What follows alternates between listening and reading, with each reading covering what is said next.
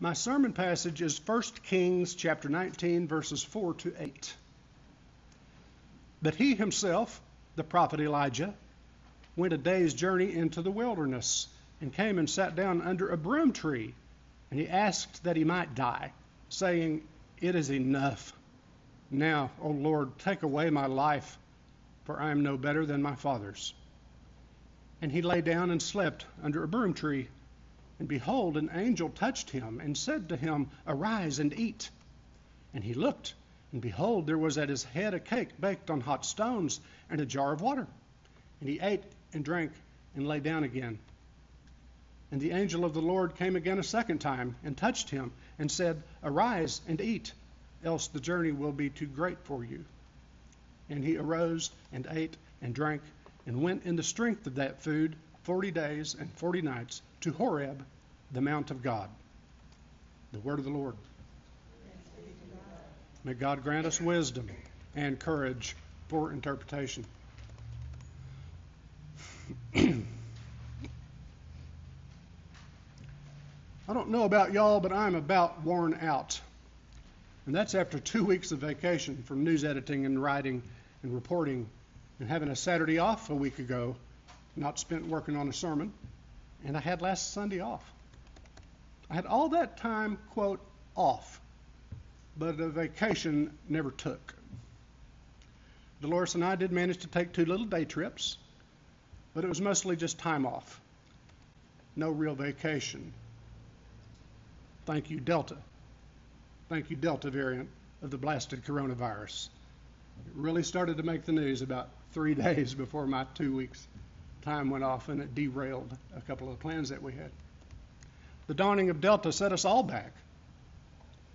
It took what little wind was in my sails just as we were about to launch into uncharted waters for Trinity, a real live stream, an actual system rather than the smartphone, borrowed tripod, bubblegum, spit, and baling wire that have had us live online, however improbably, for nearly 18 months now. By the way, good morning to the Facebook congregation. Be sure and click or leave a comment. Click like or leave a comment so we know you're there.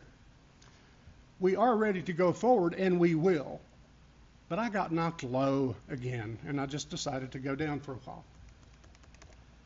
Some of these blows to my heart and mind and dreams are personal, and you know of them physical pain, lost big brother, distressing changes in my day job, lost big sister, pandemic related estrangement from Avery Noel, the grandest granddaughter in the world, and her mama and daddy down in Houston. It'll be two years by the time we see them.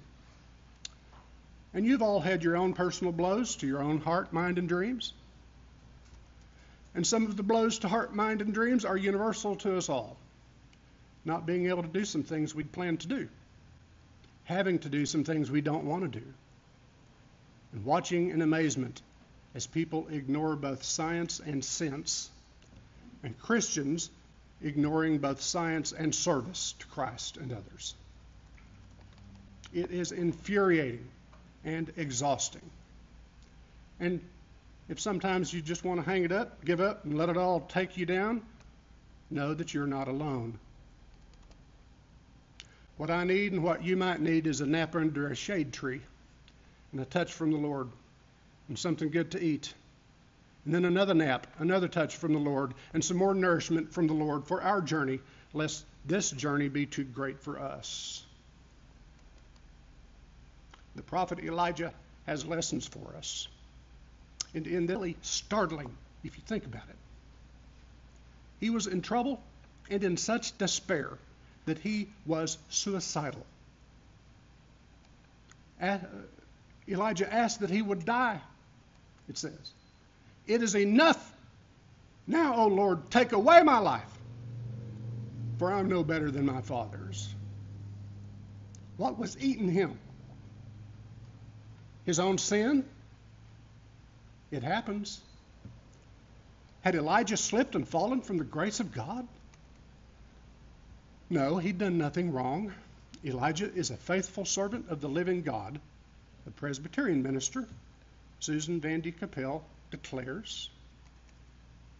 Now we know that faithful is one thing and faulty is another thing, and we know that All of us are both things, even Elijah.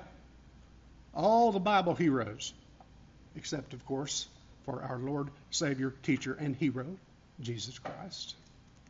Elijah has known the Lord's provision in drought and famine.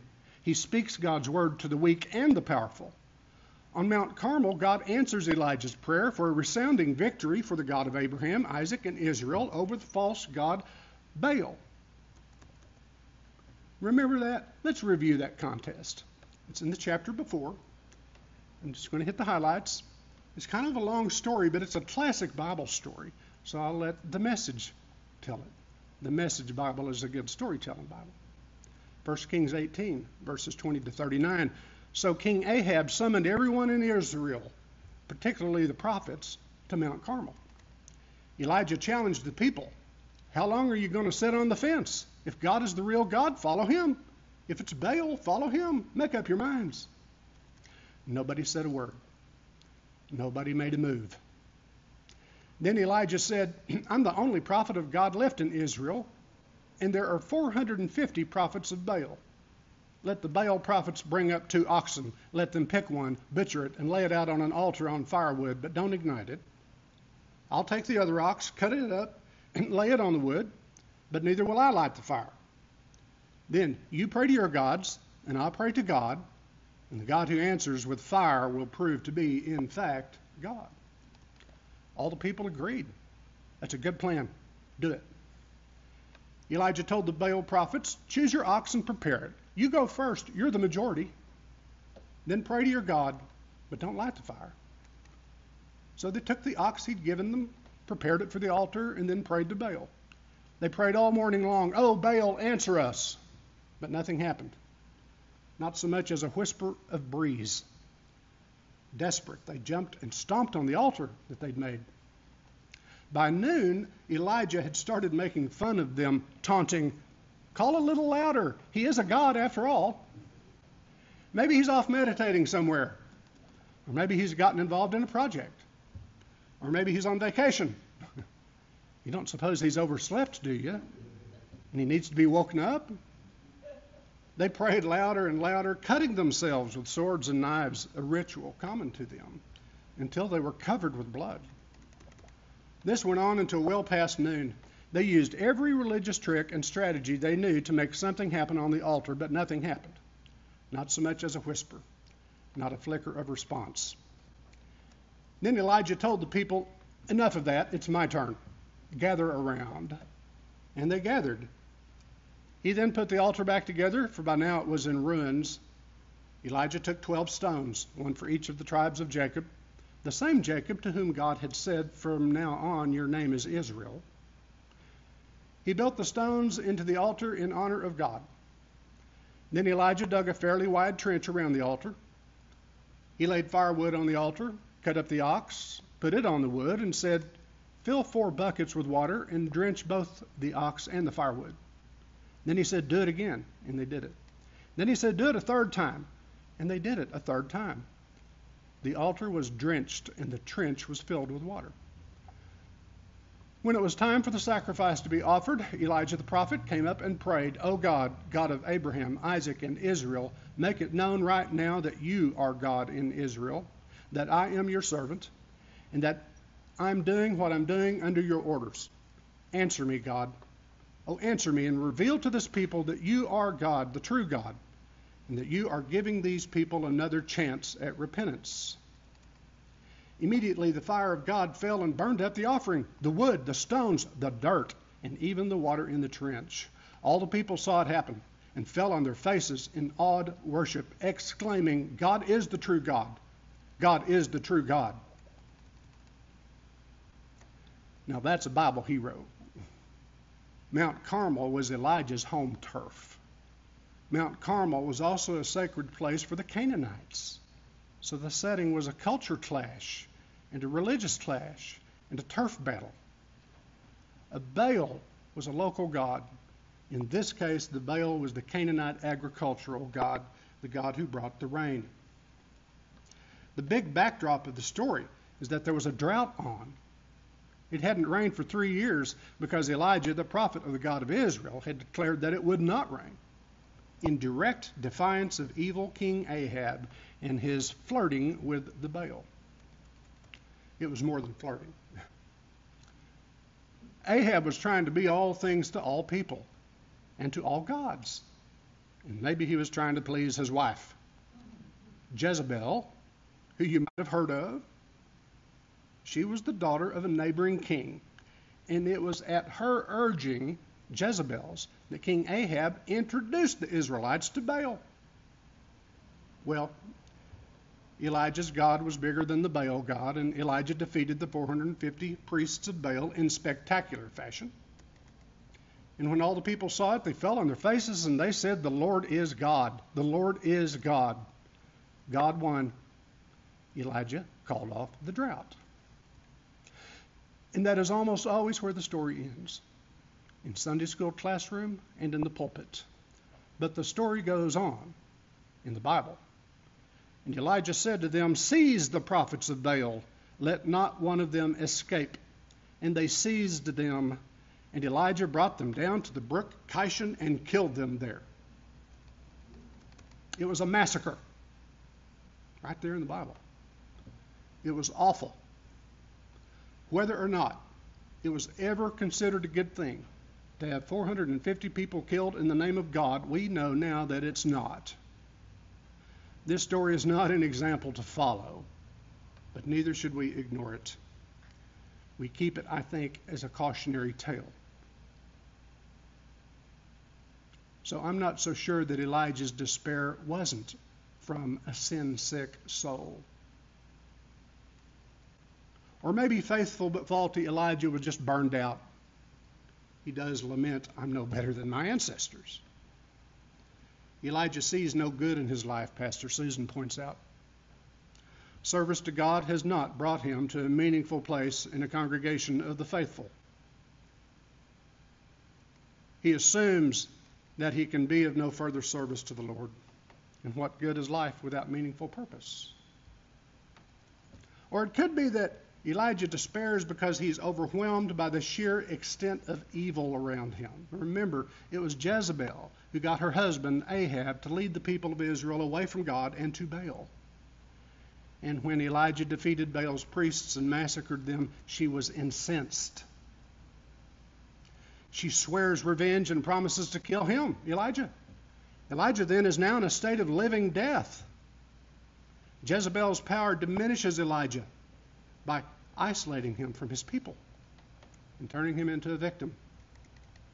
Feeling the hopelessness of his situation, Elijah flees into the wilderness and seeks an end to his life. And what happened? Elijah, honest and transparent before God, was redeemed, rescued, saved from depression, saved from depression, and given new life just as he was hitting bottom. He had lost hope. He had lost his direction in life. He had lost his sense of self and self worth.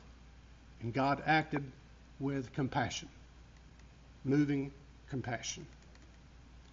God gave him rest and nourished him. Pastor Susan sums up Elijah's worth is not based on his performing great feats for God or dependent upon overcoming evil in his own strength. Elijah's worth is found in God's love for him and in the call of God upon his life. God's redemption leads to further prophetic service in Elijah's life. He was saved so he could keep going. By the way, I have to say there is depression, there is despair, but if you're suicidal, get professional help and pray as you go.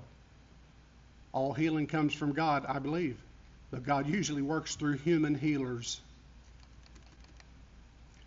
Times are difficult for all of us in different ways, as well as in shared circumstances. I want to close with a very short litany and a short prayer for us all by the Reverend Donna Shaper. She's a United Church of Christ pastor in New York City.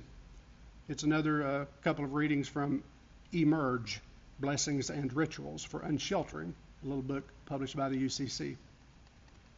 Litany of Purpose. How to find purpose in times like these.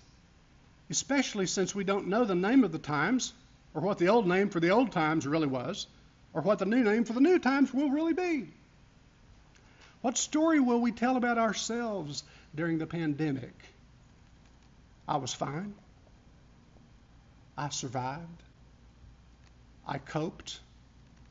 Or I called myself beloved, and the earth called my name back to me.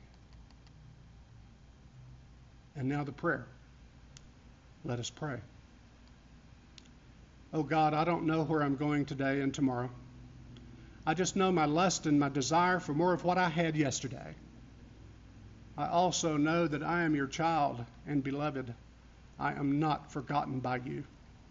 Send me one sign today that I am still at all beloved, just one. And when I know I am beloved, let me get back on track, whatever track might be. Amen.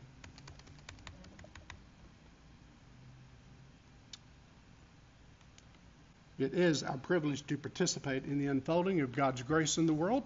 Let us give with grateful and expectant hearts. The kingdom of heaven is near.